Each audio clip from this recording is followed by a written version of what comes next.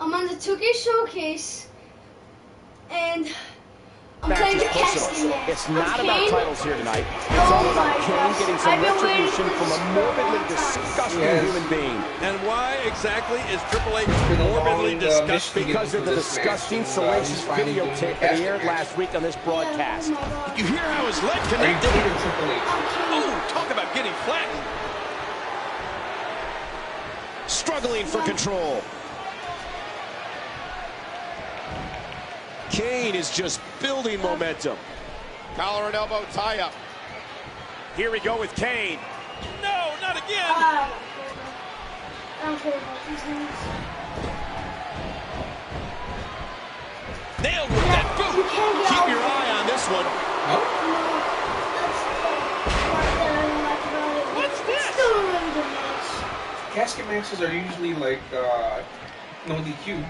Yeah, they Now with complete control. You can't get The game avoids trouble there. Yeah, Triple H saw that one coming a mile away. Oh Yeah, my gosh. Last week, right here on Raw, Kane and his tag team partner Rob Van Dam beat Triple H and Ric Flair, following an RVD five-star frog splash onto the nature. But the real story came after the match when Kane locked Triple H in the trunk of his car and drove off. Luckily for the game, he was able to eventually break free. I can only imagine what would have happened if Triple H had remained locked in that trunk.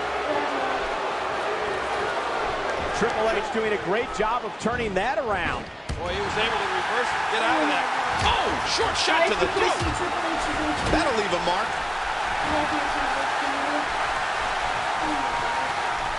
He catches him with the axe handle.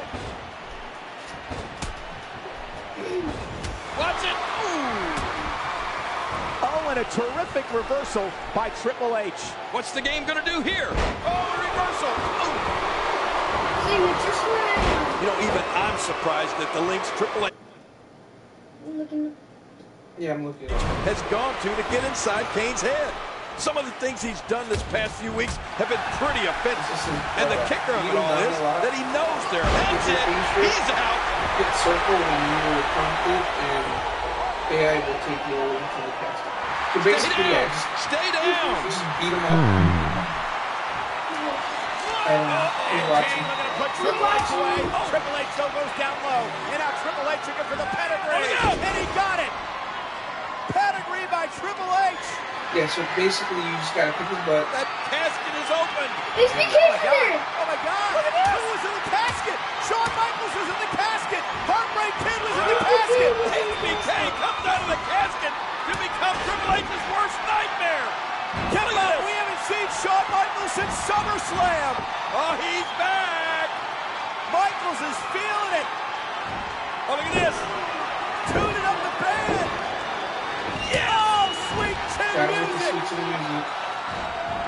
The Heartbreak Kid, center stage. The showstopper to stop the show for Triple H. So now what? So, kick his butt. Chokeslam What a kick that was. Get him over there. Bam, and just, another uh, kick. it- It'll tell you.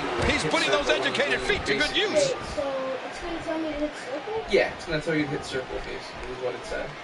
That's what it said. Yeah. So all you, all you gotta just kick his ass. Good God. Is It's he just beat him down a lot. move that fast? Hit your I mean, finisher, those kicks hit circle give you a when good you feeling. it, and promise the AI will roll him over.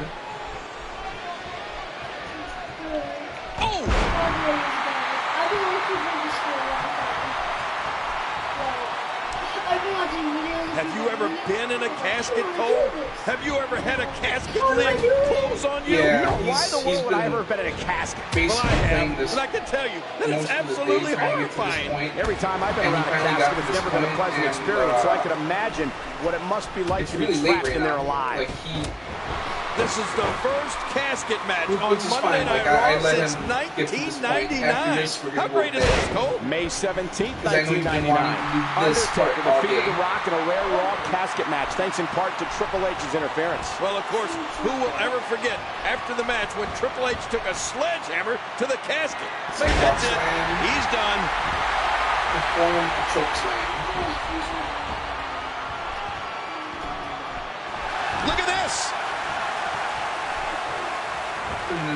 probably hit circle. This match yeah, is not go. over. And oh, Kane gonna take advantage. Oh, Kane wins. He's rolled Triple H into the casket. That's the casket is closed. And Kane has yeah. won this match. Oh my God. You have won your first ever casket match.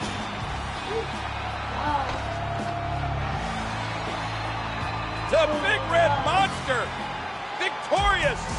with an assist from that man, Shawn Michaels.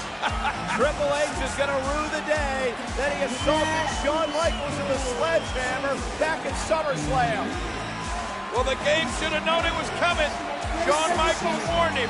Someday, sometime, someplace, he would get even. Tonight was the night. And look at this. Shawn Michaels dancing on top of the casket that holds the body of Triple H. How symbolic. Happy? Alright, so I gotta put you to bed. Night, Night, deuces, bye bye. Peace, love and chicken grease. We'll see you tomorrow. Doing some stuff. Bye.